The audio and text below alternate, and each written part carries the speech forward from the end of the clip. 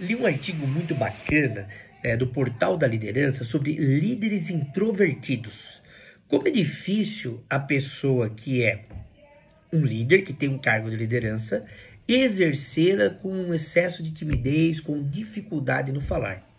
E isso não é defeito, por favor, nada disso. É uma característica natural das pessoas.